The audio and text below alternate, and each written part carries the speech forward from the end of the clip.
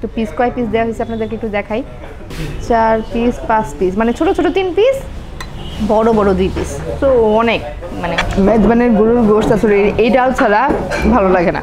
যে কোনো জায়গায় আপনি চিটংয়ের খাবার খেতে গেলে এই ডালটা কিন্তু কমন তো আপনি বিরিয়ানি আমি এর আগে কখনো ট্রাই করি নাই। এটা হচ্ছে চিটাগংয়ের কোনো খাবার না, এটা হচ্ছে খুলনার স্পেশাল একটা খাবার, চুই ঝাল গোস্ত তো এই জিনিসটা আমার কাছে এত ভালো লেগেছে যে যারা সার্ভ করেন, তাদের প্রায়োরিটিটা যে রেস্টুরেন্ট ওনার কতটা মাথায় রেখেছেন, কতটা মাথায় রেখে যে না স্টাফরা অন্য সবাই যদি গেস্টরা খায়ও, আপনার স্টাফরা খেয়ে নিতে পারবে ওয়েলকাম টু রিম্পিয়রন ব্লগ আজকে আমরা চলে এসেছি চিটাগংয়ের মেজবান খেতে। আসলে চিটাগংয়ের মেজবানে গিয়ে মেজবান খাওয়ার আমার এক্সপিরিয়েন্স নাই, কিন্তু আমার ওনার আছে। তো ওনার যেহেতু আছে, সে তার মতো করে একটু বলবে, সেটা হয়তো বা আমি আপনাদেরকে ভয়েস রাখার ট্রাই করব। আমি চিটাগংয়ে গিয়ে মেজবানের যে বিফটা সেটা খেয়েছি রেস্টুরেন্টে কিন্তু আসলে এক, দুইবার খেয়ে তো অথেন্টিক স্বাদ কোনটা সেটা বোঝা যায় না। আর আমার কাছে মনে হয়, আর আমি সবসময় যেটা ভিডিওতে বলি, আসলে ফুড এক্সপ্লেনটা আমার মেন উদ্দেশ্য না, কোথায় কোন খাবারটা কোন প্রাইসে পাবেন সেটা দেখানোই আমার মেন উদ্দেশ্য। এই উদ্দেশ্যেই আমরা চলে এসেছি উত্তরার তিন নম্বর সেক্টরের আঠেরো নম্বর রোডের একান্ন নম্বর নাম্বার হাউসের মেজবানখানাতে। এই মেজবানখানাতে আপনি চিটাগংয়ের ঐতিহ্যবাহী কালাগুনা থেকে শুরু করে চিটাগংয়ের মেজবান যে গোস্ত সেটা থেকে শুরু করে আকনি বিরিয়ানি আরও অনেক খাবার দাবার পেয়ে যাবেন। আর আমার জানা মতে উত্তরাতে চিটাগংয়ের অথেন্টিক খাবার খাওয়ার এটাই একমাত্র জায়গা। আপনাদের যদি আরও কোনো জায়গা জানা থাকে, আমাকে রিকমেন্ড করবেন। তো আমার কাছে মনে হলো যে উত্তরার মধ্যে যেহেতু চিটাগংয়ের অথেন্টিক খাবার আছে, এটা আমি আপনাদের সাথে শেয়ার করছেন এই যে, এখানে এটা হচ্ছে তাদের মেনু প্রাইসগুলো আপনারা দেখে নিতে পারেন। এখানে সেট মেনু আছে সেট মেনু হচ্ছে চারশো টাকা একটা সেট মেনু পাঁচশো টাকা একটা সেট মেনু আর বাকি খাবারগুলো সব আলাদা আলাদা দেওয়া তো আমরা সব আলাদা আলাদা অর্ডার করেছি। আপনারা যদি পরিমাণে বেশি অর্ডার করেন হাফ কেজি বা এক কেজি, তাহলে মাটির হাঁড়িতে সবগুলো সার্ভ করা হবে। তো আমরা অত বেশি পরিমাণে অর্ডার করি নাই, এজন্য প্লেটে সার্ভ করা হয়েছে। এটা হচ্ছে মেজবানি গোস্ত এটার প্রাইস হচ্ছে দুশো পঞ্চাশ টাকা, যেটা খাবার জন্যই আসলে আমাদের এখানে আসা।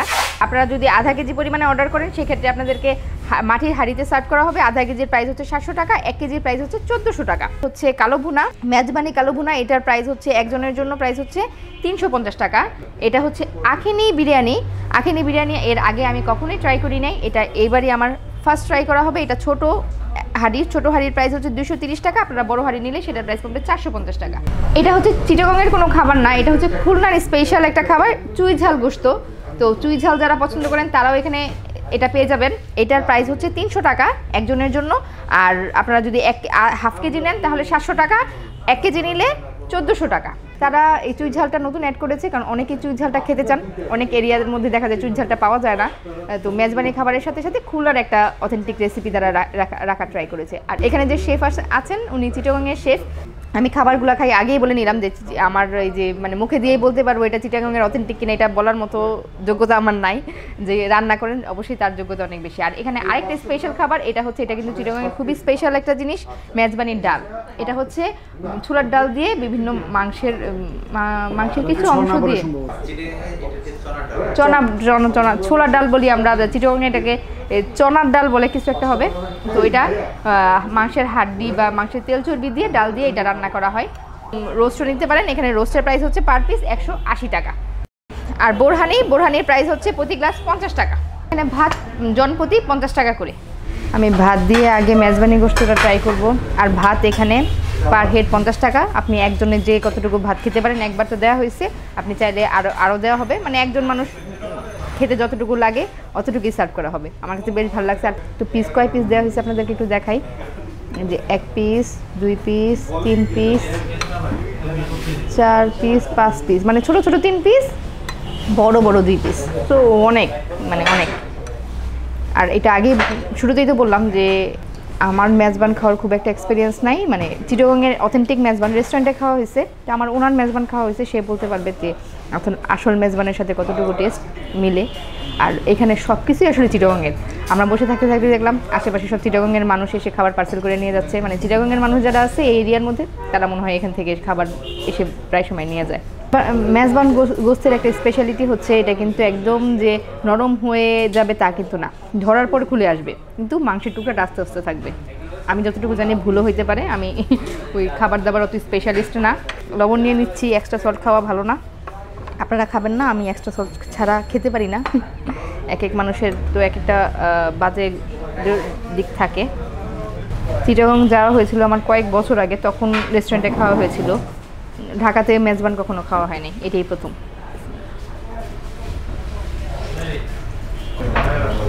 মুখে দেওয়ার সাথে সাথে বিফটার স্পেশাল একটা মশলার টেস্ট লাগতেছে। হয় না যে আমরা অ্যাজ ইউজুয়াল যে বিফটা খাই, এটা এটার সাথে আরও একটু এক্সট্রা একটা মশলার স্মেল আসতেছে, ভালো লাগতেছে। স্পাইসটা নর্মাল লেভেলের খুব যে স্পাইসি তা না, কিন্তু ভালো লাগার মতো স্পাইসি আমরা যেমন বিফ, ঝাল বিফ পছন্দ করি, ঝাল বিফ কিন্তু অনেক বেশি স্পাইসি এমন টাইপ না।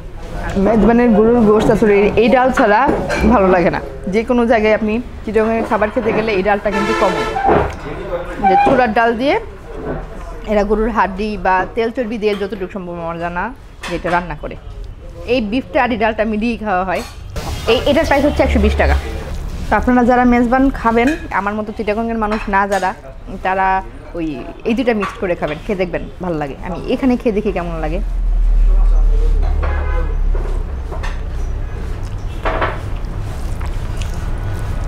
অনেক মজা। এটার স্পাইস লেভেলটাও নর্মাল আমি অনেক বেশি স্পাইস খেতে পারি না। কিন্তু মজা লাগার মতো। এখানে যে মাংসের টুকটাও আছে, এই যে মাংসের টুকটাও আছে।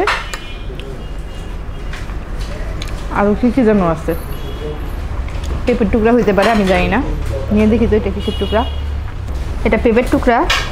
আমার কাছে মনে হচ্ছে যে ডালটা একজনে একা শেষ করা যাবে না। মানে গোস্ত আর ডাল যদি আপনি পার হেড নেন, একজনে শেষ করা যাবে না। আমার মতো মানুষ হলে যারা খেতে পারেন, তারা তো পারবেনই। দুটা মিলিয়ে অনেক বেশি মজা। বোরহানি বোরহানিটা যে খুব বেশি ঠিক তা না। থিন থিন মনে হচ্ছে। দেখি এবার টেস্ট কেমন।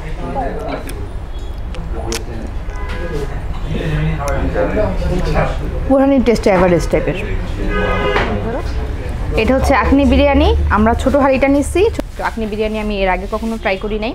এটা হচ্ছে চিরগঙ্গের উরুষ উরুষ যে বলে ওইটা- ওইটাতে রান্না করা হয়। তো ওইখানে মোটা চাল দিয়ে রান্না করা হয়, আর এখানে ওনারা পোলাই চাল দিয়ে রান্না করছে। আমার কাছে আমরা যে নর্মালি বিফ খিচুড়ি খাই, এই টাইপ মনে হচ্ছে। কিন্তু বিফের পরিমাণ দেখে যে এক পিস দুই পিস তিন পিস চার পিস পাঁচ পিস ছোটো ইয়ার মধ্যে পাঁচ পিস বিফ দেয়া, দেখি ভিতরে আরও আছে কিনা জানি না। নেওয়ার সাথে সাথেই একটা স্মেল পাচ্ছি ডিফারেন্ট টাইপের একটা স্মেল ও আরও আছে, এই যে বিফ আরও আছে ভিতরে। অনেকগুলো বিফের টুকরা দেওয়া মানে আমি ছোটো হাঁড়িতে প্রায় আট পিস বিফ পেলাম। ড্রাই টাইপের অনেক যে তেল মশলা আছে তা না, এই যে একদমই ড্রাই টাইপের ঝরঝরা, পুরাই ঝরঝরা।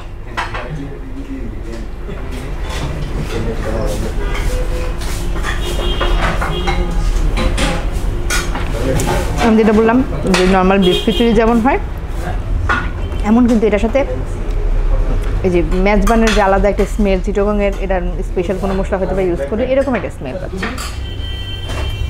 এটার সাথে একবারে ড্রাই তো, আমি এটা ঝোল নিয়ে নিলে ভালো লাগবে। সবগুলো খাবারই টেস্টি আমি রোস্ট টোস্টটা ট্রাই করলাম না, শুধু আপনাদেরকে দেখাই দিলাম যে এখানে চুই ঝাল রোস্ট কালাভুনা আছে, আপনারা চালিয়ে নিতে পারেন, কারণ এতগুলো ট্রাই করা আমার পক্ষে সম্ভব না। হাঁড়িতে যতটুকু দেওয়া হয়েছে, আমি কিন্তু প্লেটে অর্ধেকটাও নেই তার মানে পরিমাণটা তো আপনারা বুঝতেছেন যে একজনের বেশ ভালো পরিমাণে দেয়। আমার মতো মানুষ দুজন খেতে পারবেন এই চাকনি বিরিয়ানি। আমার কাছে আকনি বিরিয়ানি, মেজবানি গোস্ত, অসম্ভব ভালো লাগছে, সাথে এই যে ডাল সব কিছুই ভালো লাগছে। আপনাদেরকে আবারও বলে দিচ্ছি যে উত্তরাতে আমার জানার মতো এটাই একমাত্র মেজবান খাওয়ার জায়গা। তো যারা মেজবান টাইপ খাবার ট্রাই করতে চান তারা চলে আসতে পারেন।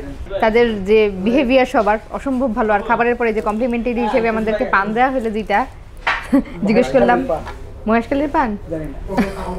না। যাই হোক দুইটা পান দেওয়া হলে সুন্দর করে প্যাকেট করা। আর সব সময় যে আমরা আমাদের ভিডিওর মাধ্যমে যে খাবারের টেস্ট বলব, যা প্রাইস বলব, তার সাথে অনেক জায়গায় আমরা গিয়ে অনেক পজিটিভ কিছু জিনিস দেখি, সেটাও আপনাদের সাথে শেয়ার করি। এই রেস্টুরেন্টে এসে একটা খুবই পজিটিভ একটা জিনিস আমি শিখে গেলাম। আমরা যখন খাচ্ছিলাম এই এই রেস্টুরেন্টে বসে এখনও রেস্টুরেন্ট ওপেন আছে, অন্যান্য গেস্টরা খাচ্ছে রেস্টুরেন্ট এখনও ক্লোজ হয় না রেস্টুরেন্ট ক্লোজ হয় রাত এগারোটায়। দুপুর বারোটা থেকে রাত এগারোটা পর্যন্ত এই রেস্টুরেন্টটা ওপেন আছে।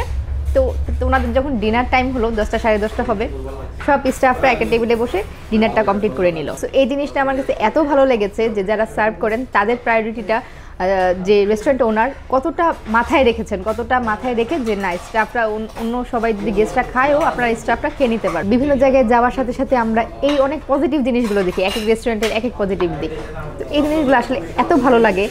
তো আমাদের একটা মানে আপনাদের সাথে শেয়ার করার একটাই উদ্দেশ্য যে যারা বিভিন্ন ধরনের বিজনেস রান করেন রেস্টুরেন্ট হোক বা অন্যান্য বিজনেস হোক, যাদের দিয়ে এই রেস্টুরেন্ট বা অন্যান্য বিজনেসগুলো চলে, তাদের বিষয়টা আসলে সবসময় মাথায় রাখা উচিত।